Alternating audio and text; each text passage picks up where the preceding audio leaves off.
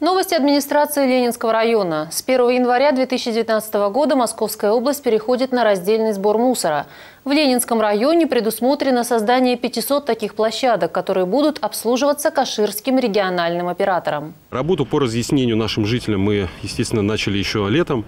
Мы провели большое количество наших форумов «Управдом» на территории Ленинского муниципального района. Постарались в каждом муниципальном образовании, либо сельском, либо городском поселении провести.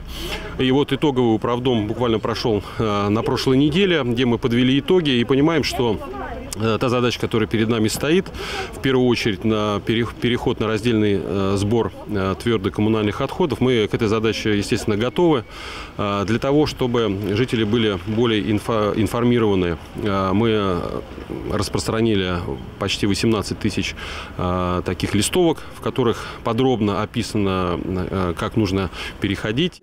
Эта реформа включает в себя двухконтейнерную систему сбора твердых коммунальных отходов – сухого, стекло, металл и пластик и мокрого – пищевые и растительные отходы.